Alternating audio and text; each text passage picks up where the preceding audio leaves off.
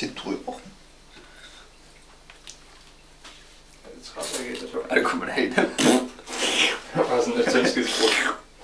Nå, det, det kunne man også drøbe over. Nu kan du lade det her.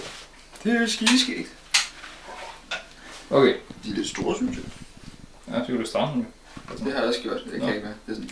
Hvad er det der, Rømme Tænder? Ja, det er bare sådan der. Øh, okay. Og den, den med?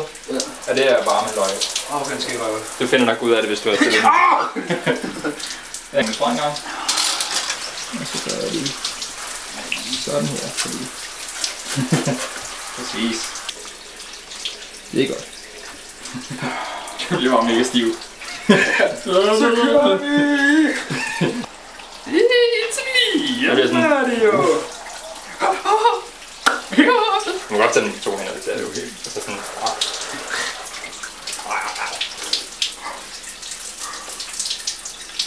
Åh, det løber.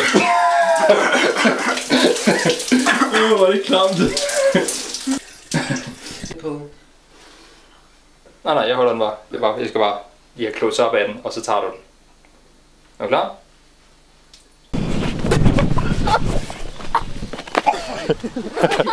du behøver lige komme, fordi det tager vi fra den anden vinkel alligevel.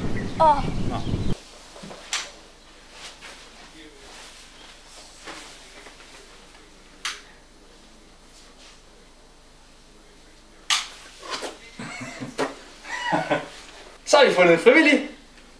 Nu har vi sat oven på to. Nej, fuck. Okay, det, okay jeg siger. Jeg var sat oven på 250 grader. Det- Bukserne ned, hænderne op. Hænden op eller buksen ned. Eller her. Ja, hvad laver du egentlig, Michael? altså, Ja, hvad, hvad har I gang i? Øh, ja, sådan der. Så siger- kigger på hinanden sådan, prøv, prøv at sige det engang, hvad er I gang i? hvad har jeg gang i?